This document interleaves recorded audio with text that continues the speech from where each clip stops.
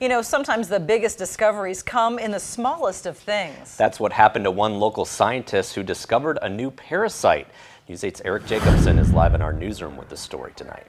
Mike and Martha, Eric Leis is a fish biologist at the U.S. Fish and Wildlife Service in Onalaska. Now, about a year and a half ago, he made a big discovery by finding a new species of parasite on the Mississippi River.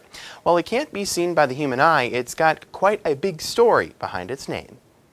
She cared about all of her employees in a way that made everybody feel special. Eric Leis admits that he wouldn't be where he is now without the help of his mentor and friend, Becky Lasee. She didn't just take the time to show me, but she made sure that I understood, and that, that was really important. So when he discovered a new parasite a year and a half ago, it's really neat. He knew exactly what he was going to do. I knew, uh, you know, when I first saw the parasite, that I was going to name after Becky because I mean that's like the ultimate way to say thank you to somebody. And that's when Henneguya laseeae was born. It's an honor to be named, you know, have a parasite named after you. I know it, it sounds bad, but it is a it is a very good honor. Leis had more testing done on the parasite from a friend at Mississippi State University. And I called my friend uh, Matt Griffin, who graduated from UWL, and he named a parasite after Becky's husband, Dan. Dan Sutherland had been a professor at UWL and had influenced so many students that he had already had a parasite named after him. But he passed away unexpectedly in 2006. When Leis received the results of the testing,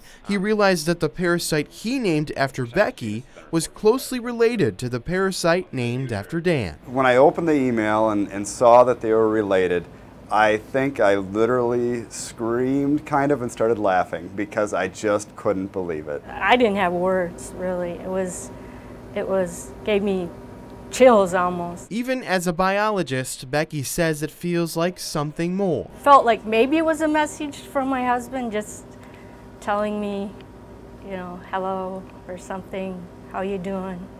And me saying back, I'm doing well. But whatever it was, it's a reminder that sometimes the biggest things come in the tiniest of discoveries. Sometimes real life is better than anything you could put into a book, I think. Now, Leis actually discovered the parasite in the gills of catfish found on the Mississippi River. The size of the parasite is roughly 60 micrometers. Now, just to give you an idea, that the period at the end of a sentence is about 200 micrometers. Very interesting. Oh Thanks, oh Eric.